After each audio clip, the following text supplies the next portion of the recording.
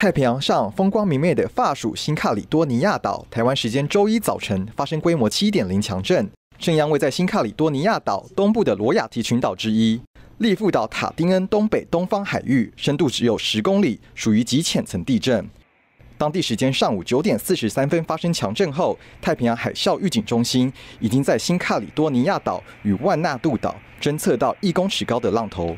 首都努美阿占新卡里多尼亚全岛人口的三分之二，距离震央超过两百多公里。与罗亚提群岛最大城镇为，目前都没有传出重大伤亡，当地政府也没有正式撤离居民。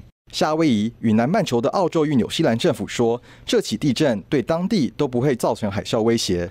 海啸预警中心表示，海啸威胁大致上已过去。新卡里多尼亚位在澳洲板块东缘，地震与火山活动频繁。